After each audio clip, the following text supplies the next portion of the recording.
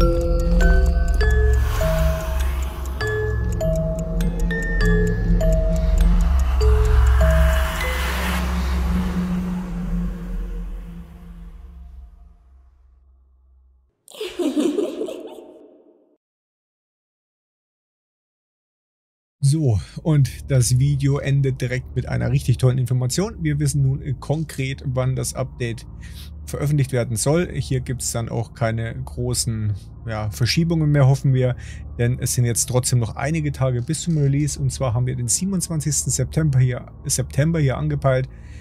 12 Uhr mitternachts British Summertime, es müsste das sein.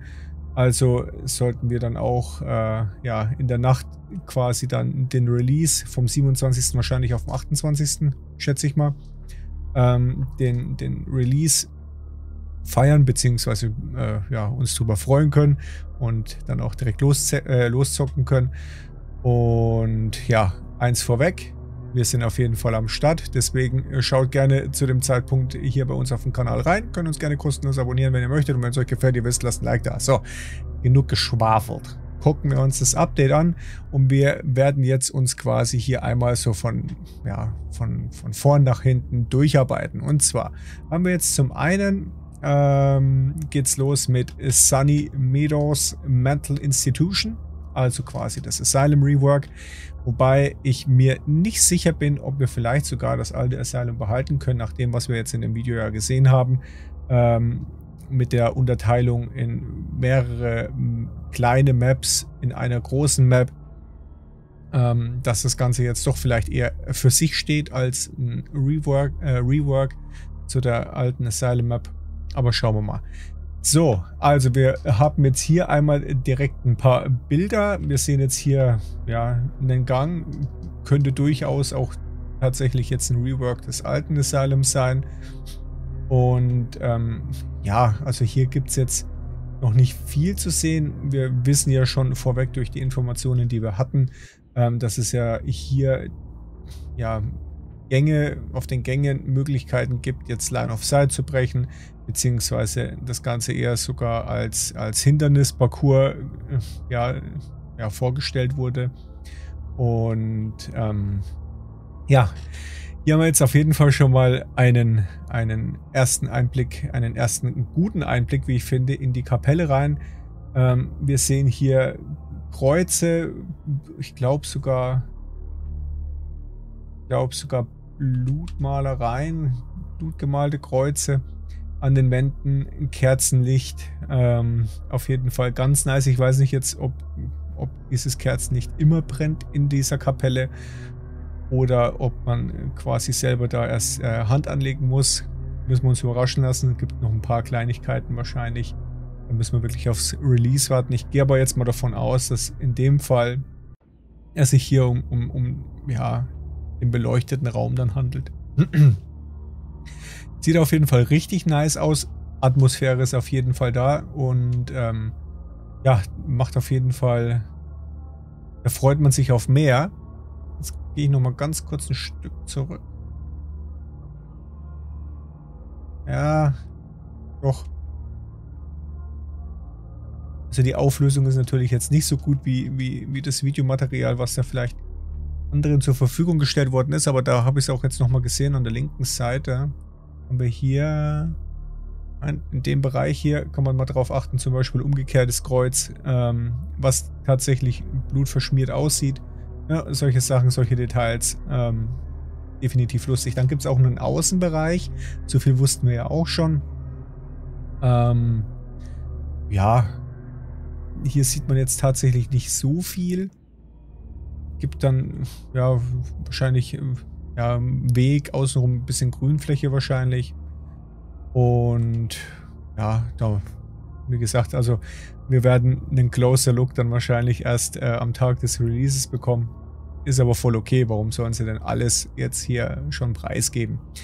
So, jetzt haben wir Sunny Meadows Restricted. Five Small Maps in One. Also das ist die Sache. Ähm, ich weiß noch nicht, wie das Ganze jetzt zu deuten ist. Ich kann, kann mir gut vorstellen, ähm, dass wir hier eine Möglichkeit haben zu wählen. Wir gehen jetzt hier in dieses Restricted und wählen uns jetzt die Kapelle aus oder ne, irgendwie, keine Ahnung. Ähm, und spielen dann quasi diese Map als kleine Map, ohne jetzt auf den ganzen großen, auf, auf alle Bereiche Zugriff zu haben. Ähm, man sieht jetzt auch gleich, ich zeig's mal. Hier, ne, das sind dann einfach dann Türen versperrt und entsprechend äh, ist man dann auf diesen Bereich eingeschränkt. Also ich weiß nicht, wie es dann gelöst ist, ob man dann, ob man dann quasi die Wahl hat, dann zu sagen, okay, wir möchten jetzt hier in der Krankenstation spielen, in der Kapelle spielen, oder ob das dann tatsächlich Zufall ist, wenn man quasi Restricted auswählt, dass man einen dieser Teile zufällig zugewiesen bekommt ähm, und dann halt entsprechend auf Geisterjagd geht. Ähm, hier auch nochmal ganz, ganz schön zu sehen. Also man, man hat hier schon ähm, ja, Wert auf Detailarbeit gelegt, ne? also das flackernde Licht zum Beispiel und so Sachen. Und was man halt, was man halt auch ganz gut mitbekommt, ist ähm, der Hall, den man da hat. Ich nochmal jetzt den Ton dazu schalten. Also man, man, man kennt es ja noch aus dem alten Asylum, ne? Diese, dieser, dieser, dieser Hall bei den Schritten, auch wenn man gesprochen hat, war ja, war ja immer dieses, dieser Hall mit dabei, dieses Echo. Und das ist jetzt auch hier ganz gut zu hören.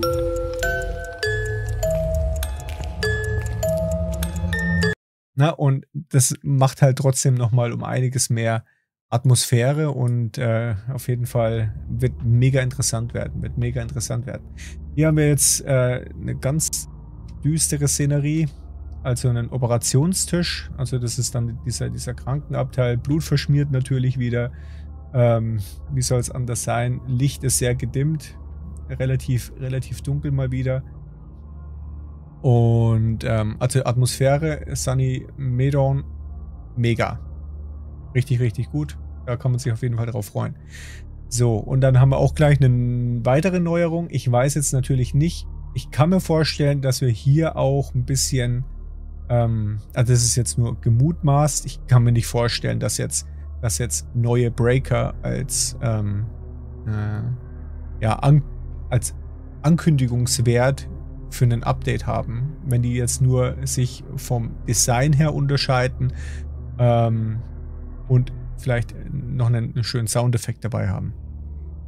Ich kann mir gut vorstellen, dass es dann vielleicht auch sowas wie, wie ähm, äh, Sicherungen gibt, die man dann vielleicht einlegen muss. Ne? Man kennt es zum Beispiel aus Ghost Exile, war es ja auch so der Fall. Und ähm, ja, da muss man sich dann auch wieder überraschen lassen. Ich, ich ist jetzt nur gemutmaßt, aber jetzt nur eine Designüberarbeitung der, der, des Sicherungskastens also. Und dann kommt natürlich der, der, der Mammutteil des Updates. Gut, neben der Map bzw. Maps muss man ja schon fast sagen. Ähm, der benutzerdefinierte Schwierigkeitsgrad. Und zwar hat man hier unendlich viele Einstellungen, beziehungsweise hier sieht man erstmal eins vorweg und das ist auch sehr interessant. Und zwar sehen wir hier einmal das Witcher-Brett. Wir haben hier hinten die Voodoo-Puppe. Müsste man gut erkennen können. Wir haben natürlich den Beschwörungskreis. Und ja, hier unten haben wir auch noch die Karten liegen. Ähm, ich schätze mal, die Musikbox wird da wahrscheinlich auch noch irgendwo rumfleuchen. Aber ich denke mal, das ist erstmal äh, ein, ein ja, kleiner Wink mit dem Zaunpfahl, dass wir jetzt natürlich auch bei den Map-Einstellungen dann festlegen können, wie viel verfluchte Objekte wir äh, in einem Run zur Verfügung haben. Und je mehr, umso chaotischer natürlich. So, und jetzt haben wir natürlich, das ist das passiert, was ich eigentlich nicht haben wollte. Und zwar, dass wir da schon mal direkt hier äh, erschlagen werden von Informationen. So, ich gehe jetzt mal kurz in den Zoom rein, dass wir da natürlich dann die Bilder relativ, relativ einzeln bekommen. So, und zwar haben wir jetzt hier wieder diesen ähm, Custom Difficulty. Wir haben ähm, hier einmal die Einstellungen, die den Charakter betreffen. Ne? Dann haben wir die Einstellungen für den Geist und die Einstellungen für die Map, ne? wie zum Beispiel die Geschichte mit den äh, verfluchten Objekten. Und hier oben kann man dann auch das Ganze noch als Vorlage speichern. Zwei Custom-Vorlagen haben wir. Heißt, wir können uns eine machen quasi für die ultimative Herausforderung und dann vielleicht noch eine, die so ein bisschen drunter liegt oder was auch immer. Es gibt verschiedene Möglichkeiten, was man einstellen kann. Jetzt hier sind wir im, im Fall der Player-Einstellungen. Äh, wir können hier die Stadt Sanity auswählen. Wir können auswählen, wie viel Sanity-Pillen an Sanity wiederherstellen im Prozent und wie viel ähm, Sanity, Sanity wir prozentual verlieren, wenn man in der Dunkelheit steht. Das Ganze hat einen Einfluss auf unseren äh, Belohnungsmultiplikator. Äh, wir sehen hier auch schon mal, inwiefern sich das auswirkt, äh, auswirkt dann auf die Belohnung. In dem Fall, ne, wir starten mit 75% Sanity statt 100%. Heißt, wir bekommen schon mal mehr Belohnung. Genau. So. Dann gucken wir mal weiter. Ich darf bloß nicht so schnell machen. So. Dann haben wir hier... Ich weiß gerade gar nicht, habe ich jetzt schon wieder zu viel übersprungen? Weil hier skippt es sehr schnell, sehr wild durch. Nee, das ist das nächste Bild, was wir bekommen. Ja, also wie viele Beweise wir bekommen können. In dem Fall ist 2 eingestellt. Das heißt dann auch wieder, wir bekommen im Vergleich wahrscheinlich zum normalen Schwierigkeitsgrad ähm, auch wieder bessere Belohnung. Beziehungsweise der Multiplikator erhöht sich. Und ähm, auch so, äh, wir sind jetzt natürlich hier in der, nicht mehr in der Player-Einstellung, ähm, sondern in dem, in dem für, den, für den Auftrag. Na, also macht natürlich Sinn. Hier wird dann auch festgelegt, wie hoch die Wahrscheinlichkeit ist, dass ein, dass ein Geist Fingerabdrücke hinterlässt. Also man wird da wahrscheinlich noch viel mehr einstellen können, wie zum Beispiel auch ähm, eine Sichtbarkeit vielleicht von Geisterorbs oder so. Ne? Das ist jetzt hier alles nicht zu sehen. Aber wenn man hier schon so ins Detail gehen kann, schätze ich mal, da wird noch ein bisschen mehr da sein als nur Fingerabdrücke. So, und natürlich auch, wie lange Fingerabdrücke sichtbar sind. Das kann man dann in Sekunden angeben. Ne? Ähm, da haben wir jetzt dann, haben wir jetzt dann unendlich lange, geht tatsächlich sogar, was natürlich dann einen negativen Einfluss auf die Belohnung hat. So, dann gucken wir mal weiter. Dann müssen wir schön langsam machen. So, da haben wir immer noch dasselbe. So, okay. Hier wählen wir zum Beispiel, jetzt wir bei den Geistereinstellungen, kann man zum Beispiel auswählen, wie lange der Geist jagt, ähm, wie lange ein äh, ja, Kill, beziehungsweise wenn ein Mitspieler stirbt äh, von einem Geist, wie lange, wie lange das den Hand verlängert. Ne? Dann gibt es dann, also hier heißt jetzt nur High, Low, Medium, High, keine Ahnung. Eigentlich steht es hier in Sekunden. Das ist ein bisschen komisch, dass dann jetzt hier so eine Angabe gemacht wird. Ähm, ne, also hier in dem Bereich. Und ja, auf jeden Fall die Zeit, die dann noch oben drauf gepackt wird oben drauf gepackt wird, wenn, wenn jetzt hier der, der Geist einen Spieler tötet. Ne, wird ja immer die, die Handphase verlängert, zumindest im Albtraum-Schwierigkeitsgrad. So, und dann kann man natürlich auch einstellen, wie viele Beweise ein Geist äh, zur Verfügung stellt. Auch hier jetzt in dem Fall ist jetzt die Einstellung drin wie im Albtraum-Schwierigkeitsgrad, wo uns der Geist zwei Beweise gibt. Ähm, auch hier gibt es dann natürlich dann eine, eine positive Entwicklung auf den Multiplier. Also wie gesagt, man, es ist davon auszugehen, dass hier der normale Schwierigkeitsgrad die Referenz dann immer ist. Auch dann mit dem Wert, der dann unten, der dann unten angegeben ist. Ne? So, okay, dann gucken wir mal weiter, was wir dann noch zur Verfügung haben. Darf man wieder nicht so schnell machen. So, da sind wir immer noch bei den bei den Geisteinstellungen oben sieht man jetzt natürlich was, ne? Die Chance, dass ein Geist ein, äh, äh, oder wie hoch die Chance ist, dass der Geist ein Event triggert. Ne? Also man kann da sehr aktive Geister einstellen. Es gibt eine Option, die dann heißt Friendly Ghost. Und zwar kann man jetzt hier einstellen, ob der Geist jetzt äh, einem freundlich gesinnt ist und dann entsprechend niemals huntet. Solltet ihr das einstellen, wird das automatisch dann bedeuten, dass ihr, ja, hier steht's, ähm, Setting on will result in zero rewards. Also dann gibt es keine Belohnung. Dann wird dann da unten der Multiplier wahrscheinlich auf null springen. Na, also dann gibt es einfach kein Cash. Die Grace Period könnt ihr einstellen. Das ist quasi der Wert, die der Geist euch Zeit gibt, ähm, sobald er den Hand stattet, in der er euch noch nicht tötet, also bewegungsunfähig ist, an der Stelle steht, nicht sichtbar ist. Und das könnt ihr auch ändern. In dem Fall sind jetzt 6 Sekunden angegeben. Das ist ein relativ langer Wert. Ähm, man kann das Ganze dann wahrscheinlich äh, bis auf eine Sekunde oder gar auf 0 Sekunden reduzieren. Quasi, dass sobald der Hand startet, wie bei einem Cursed Hand zum Beispiel, ähm, dass, dass äh, der Geist einen sofort töten kann, in dem Moment, wo der Hand beginnt. Und dann haben wir noch die Hand Duration. Quasi könnt ihr noch einstellen, wie lange der Geist dann prinzipiell handelt. Aber hier auch wieder wahrscheinlich nur Presets, Low, Medium, High. Und da muss man dann einfach mal sehen, wie viele Sekunden das dann letzten Endes auch ausmacht. So, und dann gucken wir mal weiter. Das scrollt ein bisschen. Ihr könnt dann noch einstellen. Ich gehe nochmal kurz zurück. Genau. Also das sind wirklich ganz grobe Einzelbilder leider nur. Ähm, ihr könnt einstellen, wie oft der Geist seinen bevorzugten Raum wechselt. Ja, ihr könnt, ähm, könnt auch wirklich sagen, okay, nein, der bleibt in seinem, in seinem bevorzugten Raum. Äh, dann ist es auch so. äh, wie oft er interagiert mit, mit Objekten außenrum. Äh, also Tassen wirft und etc. Ich erzähle euch ja nichts Neues. Und ähm, aber auch zum Beispiel, ah ja genau, das war die Event-Häufigkeit. Ähm, sehen wir jetzt hier noch mal etwas deutlicher. Auch hier wieder in, in Abschnitten Low, Medium, High ähm, könnt ihr das dann entsprechend einstellen. So, gucken wir mal weiter. Das ist sehr interessant und zwar könnt ihr dann auch noch die prinzipielle Geschwindigkeit des Geistes einstellen. Ähm, ihr seht jetzt hier haben wir 125%, 100% ist so die normale Geschwindigkeit. Das stellt ihr dann prinzipiell auch für alle Geister ein. Heißt, ein Geist, der, der schneller ist, der ist dann entsprechend dieses Wertes noch schneller was, was zum Beispiel einen Raichu verdammt gefährlich macht dann. Ähm, ähm, aber auch ein Diogen beispielsweise. Weil wenn der langsame Diogen, der einem, der, der einem nah dran ist, auf einmal 200% schneller ist, dann hat man mal so richtig die Popokarte gezogen und wird wahrscheinlich oder, oder ziemlich sicher ins Gras beißen. Also da muss man natürlich dann ein bisschen Acht drauf geben, was man da für Werte einstellt.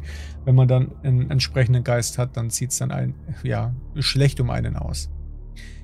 So, und natürlich auch, wie oft der Geist nicht seinen favorisierten Raum wechselt, sondern wie oft er prinzipiell wandert äh, in, in, in andere Ge äh, Gebäude, sage ich schon, in andere Räume rein etc. Und ähm, das kann man dann auch ein bisschen, bisschen schwieriger für einen machen, wenn der Geist dann wirklich, wirklich viel rummarschiert.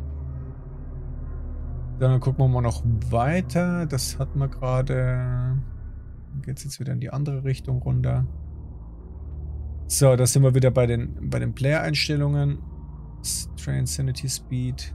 Ja, ja, genau. Hier wird nochmal ein bisschen, ein bisschen drauf ähm, gezeigt. Ne, wenn, man jetzt, wenn man jetzt hier die Stadt-Sanity erhöht, seht ihr von 75 auf 100%, dann reduziert sich der Multiplikator von 9,35 auf 8,85 und so weiter.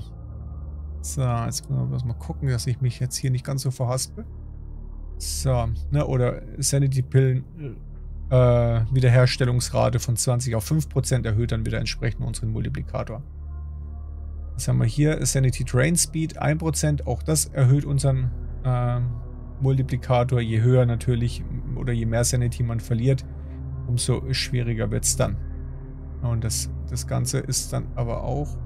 Ah, ne, ist nicht gecapped. So kann man dann entsprechend, entsprechend einstellen. Hier sieht man noch was Interessantes, beziehungsweise man sieht es nicht korrekt. Moment, ich tue mich da mal ein Stück zur Seite nehmen. Hier haben wir die Sprintgeschwindigkeit, die man dann, die man dann einstellen kann. Ähm, auch auch äh, eine ganz, ganz interessante Sache. Ähm, beziehungsweise nicht die Geschwindigkeit, sondern überhaupt die Möglichkeit zu sprinten. I'm sorry. Also man kann hier wirklich ausstellen, dass äh, Sprinten funktioniert, die Funktion quasi komplett rausnehmen. Und auch das macht dann das Spiel natürlich schwerer und resultiert in den höheren Multiplikator. Ähm, aber auch Player Speed kann man einstellen. Ja, also wenn man sich dann entsprechend langsam macht und nur noch mit 50% ähm, äh, unterwegs ist, dann ist es halt wirklich, ne, da, da gibt es dann, dann auch wirklich ähm, ähm, mehr Belohnung.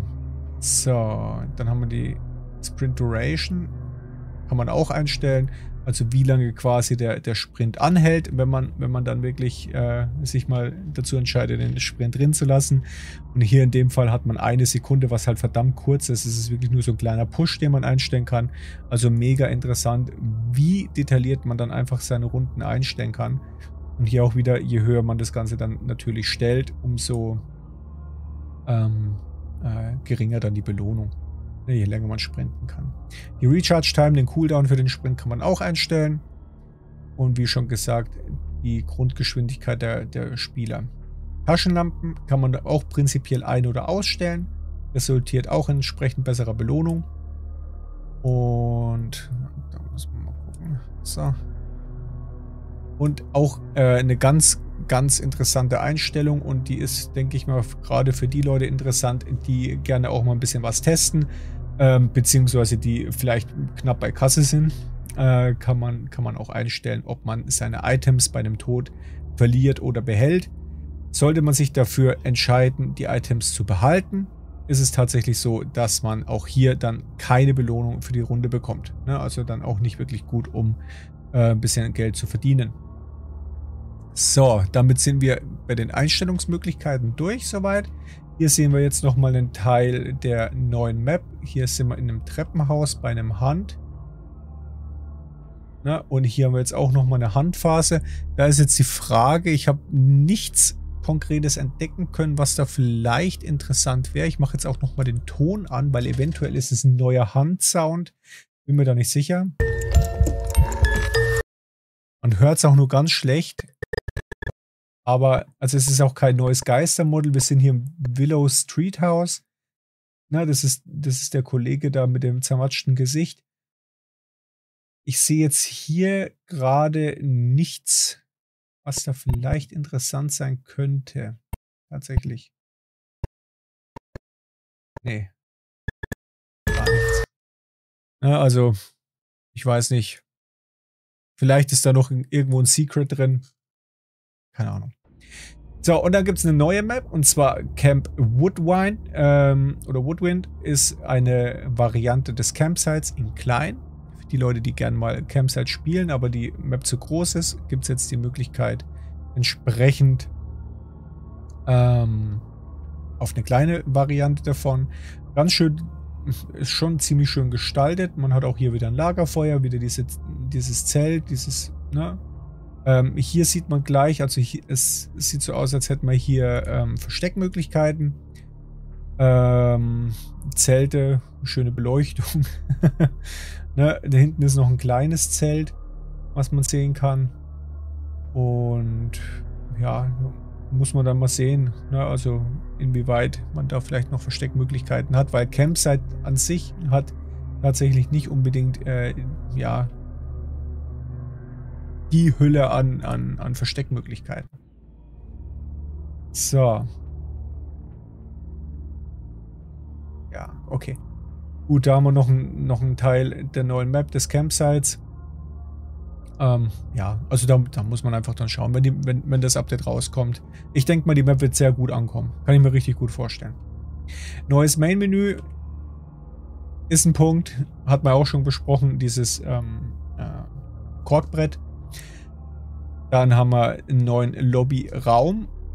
Also hier ist es nicht wirklich nur eine Überarbeitung, sondern es heißt hier wirklich ein komplett neuer Raum. Da sind wir auf jeden Fall sehr gespannt. Da gibt es noch keine Bilder dazu. Ein neuer Shop. Das ist die Sache wahrscheinlich auch mit den Presets, die man da kaufen kann etc. Ähm, hat man auch besprochen. Wird, denke ich mal, auch ganz interessant sein. Equipment Loadouts.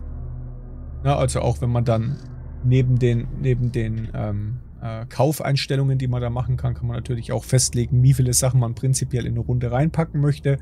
Auch das äh, ist in dem Update berücksichtigt. Überarbeitungen des Geistes ähm, oder der Geister. Ich weiß nicht, inwieweit da oder was da auf uns jetzt zukommen könnte. Vielleicht, dass zum Beispiel ein Gorio öfters mal sich im Dots zeigt oder ne, ich habe keine Ahnung, was. Da müssten wir dann wirklich die detaillierten Patch Notes abwarten. ID-Cards ist eine Vorbereitung auf das Progression-Update, was ja, was ja kommen soll. Na, da hat jeder jetzt quasi seine, seine Identifikationskarte und jetzt muss ich auch mal wieder in den langsamen Modus reinwechseln, weil jetzt natürlich die Features, die dann eingeblendet werden, etwas schneller verschwinden. Und hier heißt es jetzt Collectibles, also sammelbare Gegenstände. Inwieweit sich das äußert, ich kann es mir jetzt gerade, ja gut, man kann sich ein paar Gedanken drüber machen. Also zum Beispiel, ne, dass es dann vielleicht auch Achievements schon gibt, ähm, ähm, welche mit einem anderen Punkt, der gleich noch kommt, mal in Verbindung gebracht wurden. Ähm, also auf jeden Fall sammelbare Gegenstände oder auch dann später, ne, dass man damit dann ähm, äh, Sachen freischaltet, wie zum Beispiel Frisuren oder ein Hut oder ne, irgendwelche solche Sachen. Dann gucken wir mal weiter. Was haben wir als nächstes? Das Report-System. Auch ein wichtiger Punkt, Punkt für Leute, die halt ähm, äh, viel im Public Lobby spielen. Klar, logisch. Äh, ist es doch oftmals so, dass es da sehr toxische Spieler gibt, die dann entsprechend rausgenommen werden. Und hier ist nochmal der Punkt mit, der, mit dem Sicherungskasten. Neue neuer Sicherungskasten. Ähm, ob damit jetzt wirklich nur die Optik gemeint ist, ich kann es euch ehrlich gesagt nicht sagen. Und da sind wir schon bei den Player Stats, gerade in Verbindung mit den Collectibles, mit den sammelbaren Gegenständen, äh, war, war zumindest mal ursprünglich angedacht, dass es dann auch Steam Achievements geben soll. Ist jetzt nur eine Mutmaßung, ich gehe jetzt mal noch nicht davon aus, aber vielleicht nur schon mal eine Vorbereitung. Auf jeden Fall könnt ihr dann sehen, den Player Stats, wie oft seid ihr gestorben, wie viele Runden habt ihr gespielt, wie viele Runden habt ihr erfolgreich gespielt, wie viele Zusatzaufgaben habt ihr erledigt, wie viele Meter seid ihr im Haus zurück, äh, habt ihr zurückgelegt, wie, wie lange wart ihr im Dunkeln. Ne? Also es gibt ja schon mal ein grobes, ein grobes Runden, äh, ähm, ähm, eine Rundenstatistik. Und jetzt gibt es das Ganze halt für den Spieler selber auch noch. Und ähm, ja, wir machen dann einen kleinen Wettstreit wer von euch am meisten gestorben ist, gibt es dann das kleine Krönchen. So, was haben wir als nächstes noch? New Interactables. Also Möglichkeiten, Möglichkeiten, ähm, ja, mit dem, mit dem Spiel, mit der Umgebung zu interagieren. Da hat man ja zum Beispiel Tassen, Messer, keine Ahnung was. Äh, ich wüsste jetzt nicht, was da vielleicht noch mit dazukommen soll. Habt ihr Ideen? Schreibt es gerne in die Kommentare rein. Ich habe mir jetzt keinen Reim drauf bilden können. Neue Sounds, immer gut. Bringt wesentlich mehr oftmals als ein neues Geistermodel, weil ähm, den Geist sieht man dann eh immer ganz kurz, aber neue Sounds, die haben ganz anderen Impact als äh, dann wie zum Beispiel ein anderes Geistermodel. And much more heißt es noch. Also da kommt auf jeden Fall noch was und Natürlich haben wir dann hier den Arbeitstitel bzw. den Update-Titel, den wir vorhin am Anfang schon gesehen haben. Phasmophobia Apocalypse. Und wie gesagt, das Update kommt am 27. mein Gedächtnis. Ja, am 27. September äh, gegen Mitternacht, glaube ich, wenn ich das jetzt richtig deute, British Summertime raus. Also ähm, da dürfen wir uns freuen. Wir sind auf jeden Fall für euch damit am Start. Wie gesagt, äh, könnt gerne den Kanal kostenlos abonnieren. Und das war's mit dem Video. Ihr könnt ja mal gerne eure Eindrücke, eure Ideen, eure, eure Wünsche, eure größten Befürchtungen, keine Ahnung was, gerne in die Kommentare schreiben. Wir gucken uns das auch gerne an, äh, sind auch immer sehr interessiert dran. Und ja, ich würde sagen, das war jetzt schon mit fast eines der längsten Videos zu den Update, zumindest ähm, äh, was ich jetzt so mitbekommen habe. es tut mir leid, Leute, aber ihr wisst, ich quatsch gern und manchmal dauert es halt ein bisschen länger. In dem Fall auch diesmal uncut, äh, beziehungsweise nur ein kleiner Cut, weil Umgebungslautstärke plötzlich sehr hoch wurde. Naja, man kennt's. Also, schreibt gerne in die Kommentare, was ihr davon haltet. Ich würde mich freuen, ähm, wenn ihr äh, gerne öfters mal vorbeischaut. Wir machen viel Phasmophobia-Content, könnt ihr deshalb gerne den Kanal kostenlos abonnieren. Ansonsten freuen wir uns natürlich auch über einen Like und äh, ja, verbleiben bis dahin in voller Vorfreude auf das äh, große Update Ende September. In dem Sinne, ja, noch frohe Geisterjagd. Bis dahin, haut rein und bye bye.